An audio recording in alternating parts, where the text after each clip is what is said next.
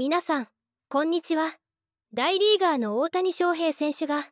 2024年2月29日に、電撃結婚報告をし、世界中が祝福ムードに包まれています。そんな中、元宮崎県知事でタレントの東国原英夫さんが3月1日、自身の YouTube、東国原英夫の時事放談 TV を更新し、大谷翔平さんについて、持論を展開。結婚相手についての裏話をしていました。東国原さんは大谷翔平さんの結婚発表について一報聞いた時ええと思いましたわ。僕の予想は代々現役引退か現役引退を決意したくらい。だから30代後半とかに結婚されるかなと思ったんですけどもと予想が外れてしまったと告白。続けて今までメディアに全然報じられなかった。大谷選手ほどのビッグスターになりますとやっぱり24時間体制四六時中メディアの監視ってあるんですよ。その中で全然表に出なかったって僕が予想するにあんまり会えてなかったんじゃないかなと思うんですね。と思いを巡らせていました。大谷翔平さんは妻について日本人至って普通の人とだけ紹介しておりそれ以上の詳細は伏せています。このことについて東国原さんはこの後相手方のプライバシーとかそういったものを一部メディアが追求するんでしょうね。羽生結弦選手の時のような感じになるんじゃないですかね。まあそれは自重していただきたいと思いますね。と心配していました。一方で東国原さんはお相手について過去にこんな話を聞いていたといいます。以前大谷選手のある関係者に聞いたことがあってというのは大谷選手のご両親は大谷選手の結婚相手はアスリートがいいという希望を持っていらっしゃるというのを聞いたことがある。ですから私はいろんな番組で曲穴とか女優さんはないんじゃないかなアスリートを選ぶんじゃないかなとそしてまた子供に残る DNA ですね。アスリートの DNA 等々も加味してアスリートなんじゃないかなと思ってたんですがどうでしょうかね？と心配しつつもお相手について興味津々の様子でした。大谷翔平さんの結婚相手については未だに謎に包まれていますが実は本命ではないかと言われている女性が存在しています。それは元女子バスケットボール選手の田中真美子さんです。田中真美子さんと大谷翔平さんが語っていた結婚相手の条件についてご紹介していきます。田中真美子さんのプロフィールはこちらです。名前田中真美子生年月日1996年12月11日。年齢27歳。2024年3月現在。出身地東京。身長180センチメートル。田中真美子さんは元バスケットボール選手で富士通レッドウェーブに加入していました。バスケットの実力もさることながら身長 180cm の長身でスタイル抜群。モデル顔負けの美しい外見で人気の選手でした。大学は早稲田大学に進学しています。早稲田大学の偏差値は6270なので学業も優秀だったようです。まさに文武両道ですね。ちなみに早稲田大学を選んだ理由はなんと家から近かったからだそうです。2021年8月には日本代表候補に選ばれるなど選手として活躍していましたが2023年に引退しています。引退時は26歳とバスケットボール選手としては若い年齢で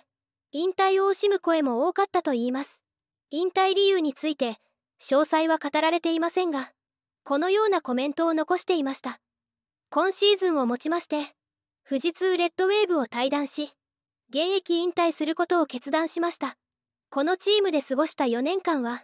決して良い思い出ばかりではなく苦しいこともたくさんありました。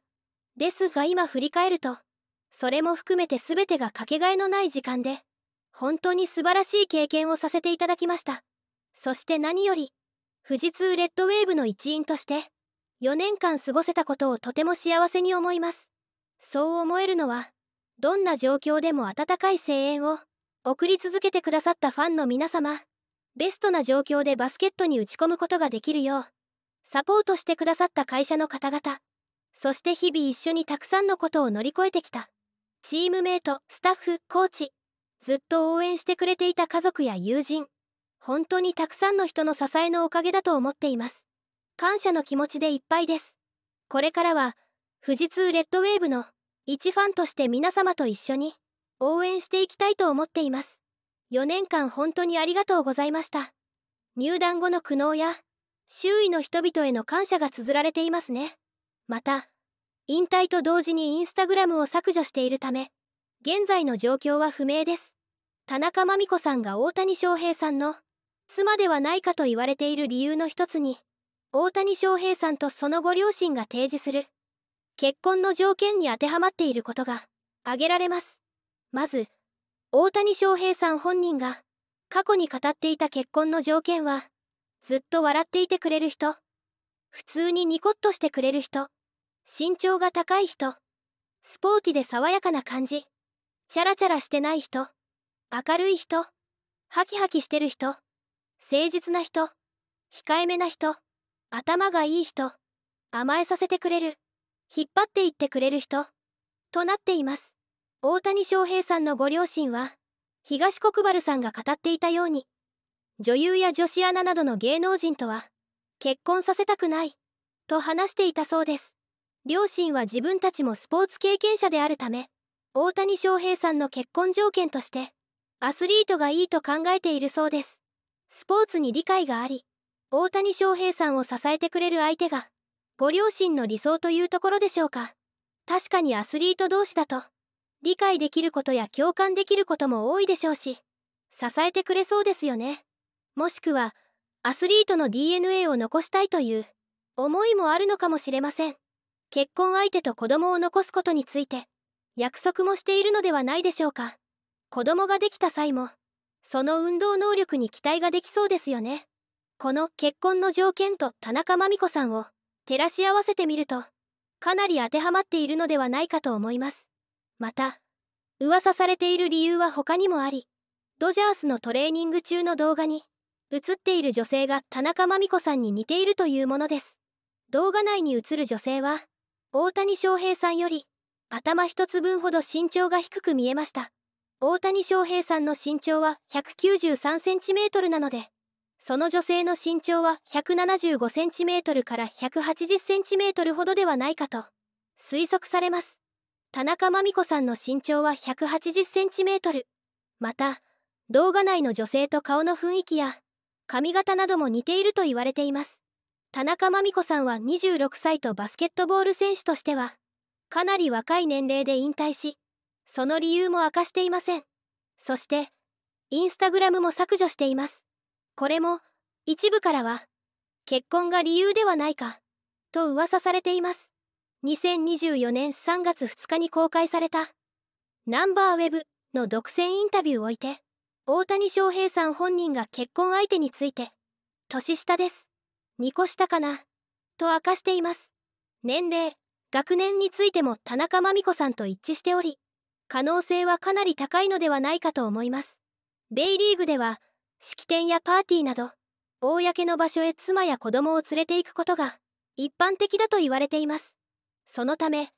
大谷翔平さんの妻も今後どこかでその姿を見ることができるかもしれませんね最後まで動画をご視聴いただきありがとうございましたコメントを残してくれると嬉しいですチャンネル登録高評価もぜひお願いいたします。それでは、また。